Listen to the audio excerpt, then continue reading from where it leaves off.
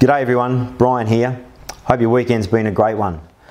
I'm coming into Mark chapter 6, and in this chapter, we're going to see uh, the word amaze come up a couple of times indeed today.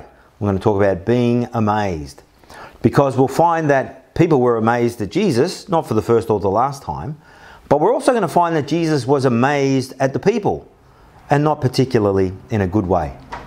So Jesus has gone back to his hometown, to Nazareth, and he's gone there and he's preached in the synagogue as he does when he travels around. And the people are amazed at his teaching. And why are they amazed at his teaching? Well, in another place, people are amazed at his teaching because he teaches in such a different manner to everybody else who teaches. He teaches with authority. But here the people are amazed at his teaching because who's this bloke? Don't we know him? Wasn't he Joseph's son? Mary's son? Isn't he the, the brother of, and there are some names listed here, brother of James and Joseph, Judas and Simon, and aren't his sisters here with us? So you see the family of Jesus here. And they took offense at him.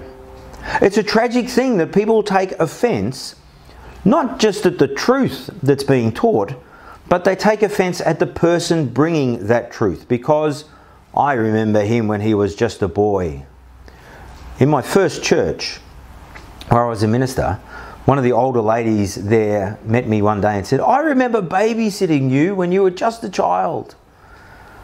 It made it difficult to imagine myself being her pastor if she still saw me as that little boy in nappies that she took care of those years ago. So the people are amazed at Jesus. In fact, they're offended at Jesus.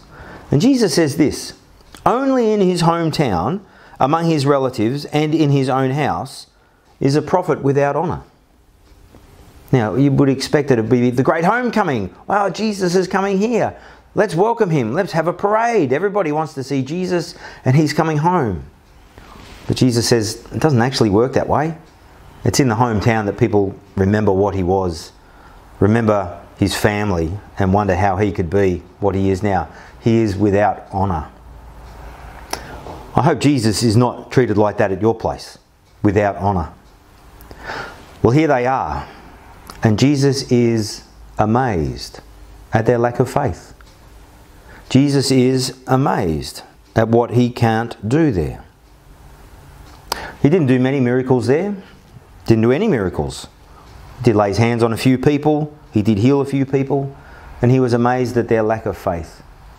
Their lack of faith, I think their lack of faith that brought them to Jesus to seek that healing. Well, don't let's be like you. I don't, want Jesus to be amazed at you because you lack faith or you're not interested in Jesus. I want Jesus to be amazed at you for what he does in you and through you. Don't be like these people. Have a great day today. Keep your eyes on Jesus, and I'll see you tomorrow. Bye bye.